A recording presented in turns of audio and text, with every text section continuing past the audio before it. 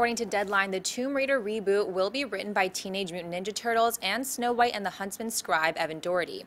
The movie is based on the popular video game franchise, which has already had a pair of previous movies starring Angelina Jolie that grossed over $400 million worldwide. Christian Buyer saw the idea of a Tomb Raider reboot written by Daugherty. Uh, I sell it. Um, I I know a lot of you guys loved the uh, or really enjoyed the Teenage Mutant Ninja Turtles movie. I thought one of the things that was the big problem with it, besides uh, Liebesman's directing, was the was the writing. I thought that they they put the turtles in there way too late as a as a buddy group. I thought they focused the, the some of the main problems was the dialogue and just the overall scenes. So to hear that he's writing the Tomb Raider doesn't get me excited. I want to see like a cool, gritty, fun uh, Tomb Raider movie, not a campy, cheesy one. Now that might I might be wrong. They might actually he might actually be writing that version. Maybe that's the version he wants to go down. But if we're going off of what he's done lately, I sell it.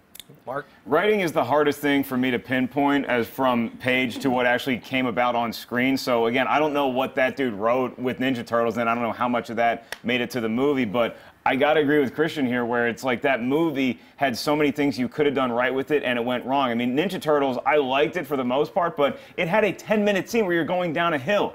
Come on, guys! If that is that going to be Tomb Raider? Because Tomb Raider has such a cool premise. It's a female Indiana Jones. She's right. looking for cool stuff. It's a really attractive woman. She's running around all over the world. That could be awesome, or it could be brutal, and it it gives me panic. I'm not going to throw this guy under the bus, but mm-hmm. it doesn't get me excited yet.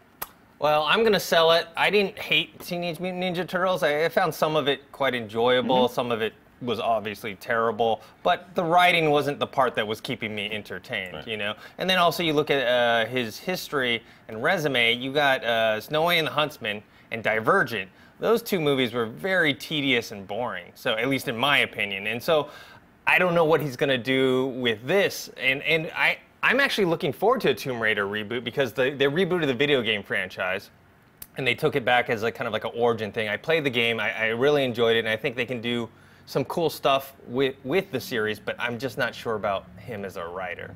Hey everyone, if you like this video, click that thumbs up button and make sure to subscribe to our AMC Movie News YouTube channel.